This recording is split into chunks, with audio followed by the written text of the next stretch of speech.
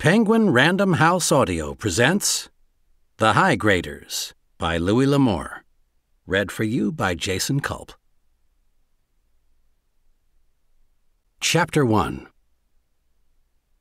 Mike Shevlin squatted on his heels in the driving rain and struck a match under the shelter of his slicker. The match flared, and he leaned forward, cupping the flame in his hand against the face of the gravestone. Eli Patterson. 1811 to 1876. There was no mistake then.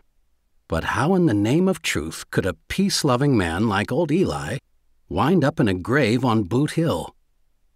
Eli Patterson had been a Quaker, a man of deep conviction who never touched a gun for his own use and did not approve of those who did. Yet he was dead, shot to death, and buried here among the victims of gun and knife and if rumor could be credited, he had himself died gun in hand. The flame flickered out, and the dropped match hissed against the sodden earth. Anybody but him, Shevlin said aloud. Anybody but old Eli. The splash of a footstep in a pool of water warned him an instant before the voice spoke. Kind of wet up here, isn't it? Mike Shevlin straightened slowly to his feet, glad his slicker was unbuttoned and his gun ready to hand. Enemies he would surely find at Rafter Crossing, but he could expect no friends. He took his time in facing around, careful that his movements be not misunderstood. Through the pouring rain and the darkness, he could see the bulk of a square, powerfully built man. Lightning flared, throwing the grave crosses into sharp relief, lighting the water soaked earth and making an occasional gleam on stone, but of the white face before him he could make out no detail. The other man would see even less of Shevlin because of the upturned collar of his slicker and the pulled down brim of his black hat. You make a practice of following people? Mike Shevlin asked. It's a wet night to be on Boot Hill. I've buried men here on wetter nights.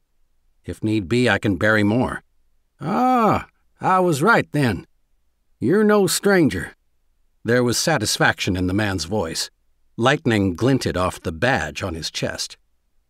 Mike Shevlin put a rein to his tongue. This was no bumbling old Sheriff McCown, nor anybody he remembered from the rafter crossing he had known. Wanting no trouble, he simply said, I've been here before, if that's what you mean. The man with the badge shifted his feet slightly, are you Ray Hollister? If you don't know Ray Hollister, Shevlin replied, you haven't been around long. Two years. He left before I came. Shevlin had an uneasy feeling that had he said he was Ray Hollister, the sheriff would have killed him. Wind and rain lashed the grave covered knoll, whipping the branches of the trees. Off to the right were the lights of the town, many more lights than he remembered. Beyond the town was the gallows frame and the huddled buildings of a mine, lighted for a night shift. Too wet to talk here, Shevlin said. What's on your mind? You were looking at Patterson's grave. He was killed in a gun battle two years ago. Anger flared up in Mike Shevlin. Whoever told you that, he said roughly, lied. Then the coroner lied, Mason lied, and Gib Gentry lied. Who killed him? Gentry, in self defense. Mason was a witness.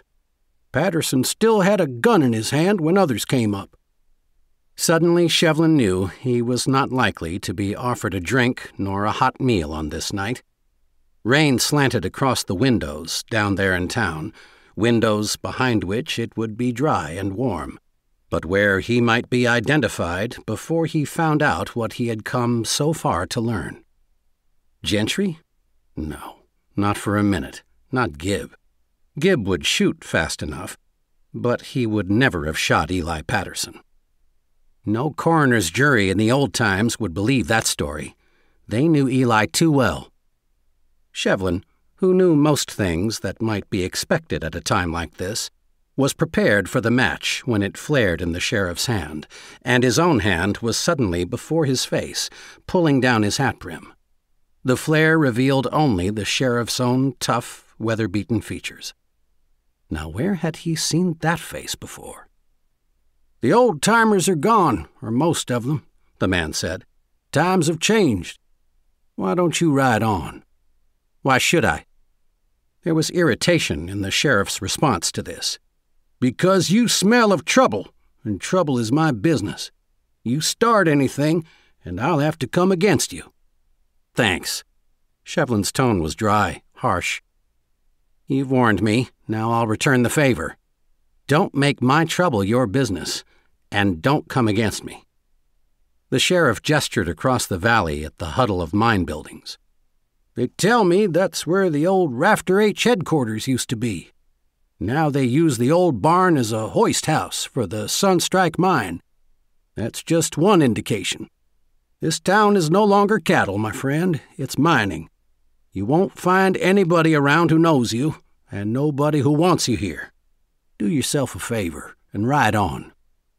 Mike Shevlin, who had known many men, knew this was a truly dangerous man. He knew it because the sheriff had not tried to force the issue, as a less experienced man might have done. Knew it because he was calm, talking quietly, trying to avoid trouble before it arrived, and because he was so obviously one of those who knew when and when not to use a gun. The two men walked together toward the gate, and Shevlin closed it carefully behind him, then swept the water from his saddle with a flick of his palm. He gathered the reins and turned his horse so he could mount without showing his back to the sheriff. The latter noted the move with grim appreciation and mounted his own horse. Just as Shevlin had learned much of the sheriff in these few minutes, so the sheriff had learned something of the man who loomed only as a dark figure on a rain swept hill. There was a hard sureness about this stranger, and he allowed for no chances against him. And there was also a confidence in him that warned the sheriff this man who faced him was no outlaw, that it was even likely he had himself carried a badge. I'll tell you something. Mike Shevlin, who normally explained his actions to no man, explained them now in deference to the kind of man this was. In my lifetime, one man gave me a square shake without figuring to get something out of it. That man was Eli Patterson. There was a pause. You'll be staying on, then? the sheriff asked. I'll be staying. The sheriff tried again. Look, he said patiently. You start shaking the brush to find what happened to Eli Patterson, and you'll have the whole town on you. Mike Shevlin turned his horse toward Main Street. Over his shoulder, he said, It's a small town. As he rode away, he told himself he was a fool. He should not have come back. What could any man do to help the dead? He had returned because a fine old man who had been his friend when he had no friends had been murdered, and his killers had gone unpunished. Nor could that one murder have made an end to it, for the wicked do not cease from wickedness, nor does evil end with one crime. The rain beat a hard tattoo upon his hat as he walked his black along the street.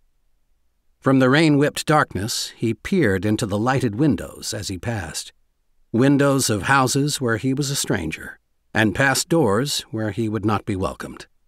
If he slept in a bed this night, it would be a bed he paid for.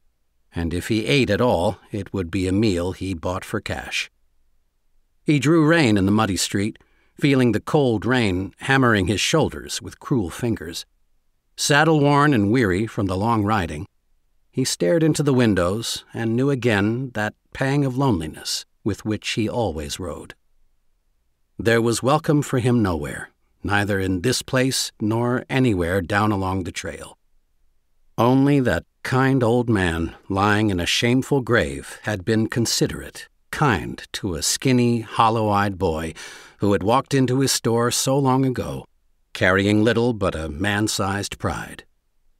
Because of this, he had ridden a thousand hot, dangerous miles, returning to a town he remembered without pleasure to seek out the cause of an old man's death and to clear his name so that his spirit might rest easy in the earth.